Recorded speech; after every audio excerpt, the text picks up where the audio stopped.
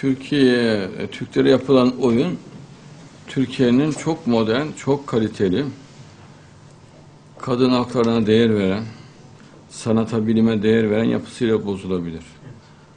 Avrupa'yı olman üstünde bir Avrupailikle bu e, oyun bozulabilir.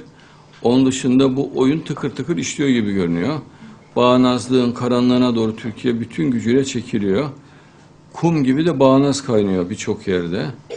E, Bunlara yüz vermemek lazım. Bunlar Türk milletini yok edecek gücün temel temsilcileri.